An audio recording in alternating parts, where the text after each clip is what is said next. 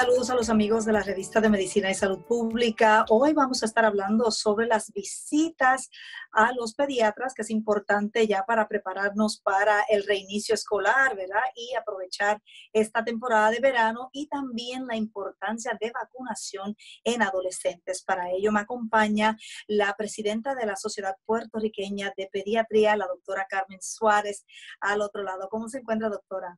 Muy bien, gracias a Dios. Espero que tú también creo que muchos padres y madres o tutores bajaron la guardia con la vacunación ahora por la pandemia. ¿Cuál es su experiencia?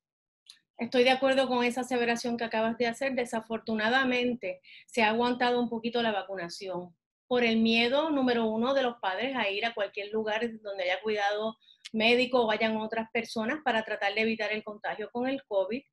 Hubo también inicialmente en la temporada del cierre algunos centros de vacunación, que es la mayor fuente de vacunación de nuestro país, de los niños, cerraron. Ya estos centros están volviendo a abrir, casi todos están abiertos, los pediatras que vacunan ya están vacunando y nosotros quisiéramos que no se atrasara el, régimen de vacunación que hasta ahora en Puerto Rico ha sido excelente. y antes de proseguir con ese tema, vamos a hablar de la visita que también es necesaria para, eh, para todo niño, todo menor de edad. ¿Hasta qué edad hay que visitar al pediatra, doctor? Hasta los 21 años. es de 0, de 0 a 21 años.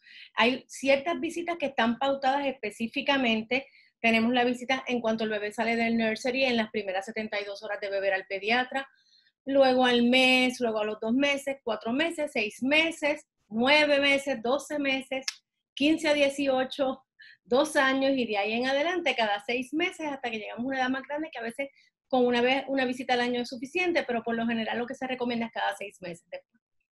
Claro, y esa visita es importante porque ahí se le da seguimiento al desarrollo del niño y se puede detectar cualquier problema. Se, se hace todas las preguntas de desarrollo, tanto físico en niveles de crecimiento, peso, estatura, circunferencias de cabeza en los niños más pequeños. En los niños más grandes tenemos que ver mucho la obesidad, que tenemos mucho Muchos pacientes obesos por esta pandemia también que han estado aumentando de peso tienen que estar yendo a los médicos para nosotros poder poner esto en gráfica y ser objetivos cuando estamos hablando de estas circunstancias de peso, de bajo peso, sobrepeso y el desarrollo, las cosas que los niños tienen que hacer a la edad específica, se le da seguimiento en estas visitas de rutina que no se deben retrasar por razón de la pandemia. Nosotros tenemos cuidados en las oficinas para asegurar, ¿verdad?, que disminuimos el riesgo de infección de nuestros pacientes. Eh, claro, y antes y durante el COVID, el pediatra es el médico primario de todo menor de edad, por lo tanto, cualquier situación donde primero hay que acudir es al pediatra, entiéndase quizás alguna manifestación cutánea, alguna fiebre, cualquier síntoma eh, y efecto que, pueda tener eh, cualquier sustancia también de alergia, etcétera, es el pediatra el que lo atiende. Es el pediatra. Si el pediatra requiere ayuda de un subespecialista, pues hace el referido de acuerdo a esa necesidad. Pero como decimos, el pediatra es la primera fuente de llegar para consulta de cualquier aspecto de la salud física, emocional o del desarrollo de un niño, o un adolescente o un joven adulto. Así que Claro, y no hay que esperar tampoco el, ver algún problema, el que haya algún tipo de enfermedad o condición. Como usted señaló, hay que ver al pediatra con regularidad. Medicina preventiva y vacunación van con medicina preventiva para no tener que ver enfermedades que pudimos haber evitado de otra manera o tener consecuencias de enfermedades que pudimos diagnosticar a tiempo, como bien usted dice, y por no ir a la visita no se diagnosticaron cuando debió haber sido. Claro, los adultos y los encargados eh, prestamos mucha atención en esos primeros años a la vacunación. Después de cierto tiempo, ¿verdad? Se, se, vuelve, hay cierta laxitud, pero los adolescentes también tienen un régimen de vacunación pendientes. Definitivamente. Las vacunas, después de la vacunación primaria, que por lo general va a terminar cerca de los cinco años, debemos vacunarnos anualmente contra la influenza, eso, ¿verdad? Incluyendo a los adultos también que nos están escuchando. Y a los 11 años, que vamos a decir es cuando empieza esta preadolescencia, hay unas vacunas que están establecidas ya, que luego se van a fortificar con la vacunación de los 16 años, que es la próxima rutina en los adolescentes. Esta incluyen eh, contra el tétano, contra pertusis, va a incluir la vacuna de, en contra del virus de papiloma humano, que es súper importante, se llama Gardasil.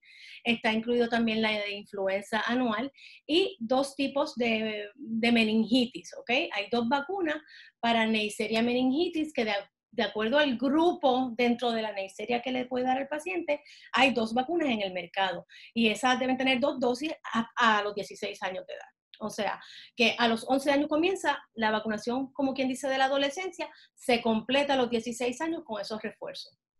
Y ya para entrar a, la universidad a grados este, postsecundarios, ¿hace falta algún tipo de refuerzo?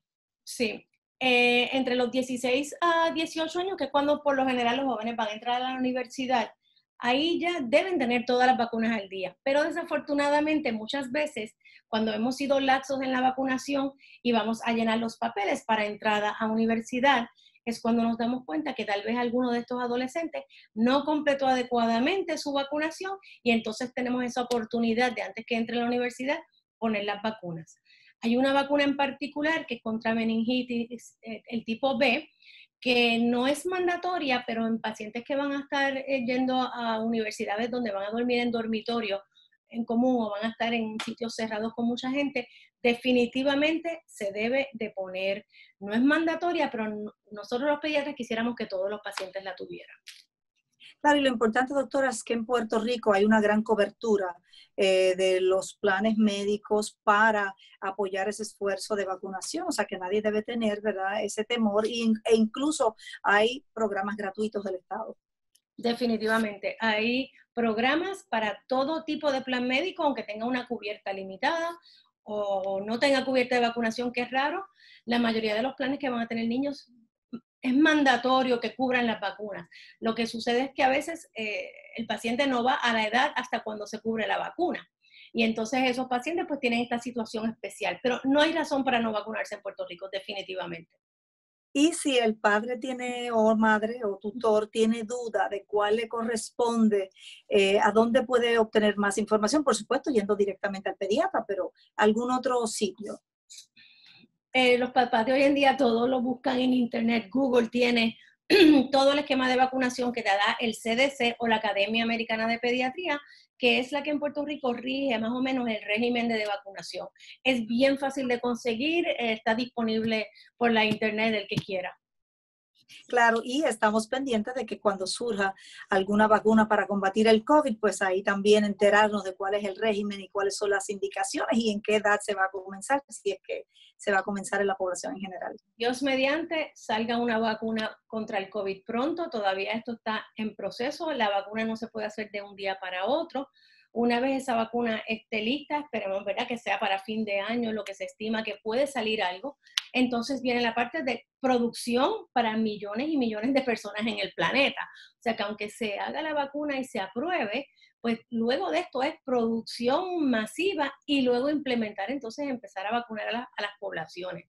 Dios quiera que ocurra pronto, pues estamos viviendo las consecuencias de una enfermedad contra la cual no tenemos vacuna, que es nuestra arma.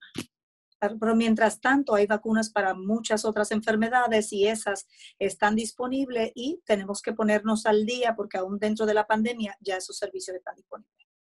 No hay necesidad de retrasar la vacunación debido a la pandemia. La producción de las demás vacunas está vigente y las vacunas están disponibles.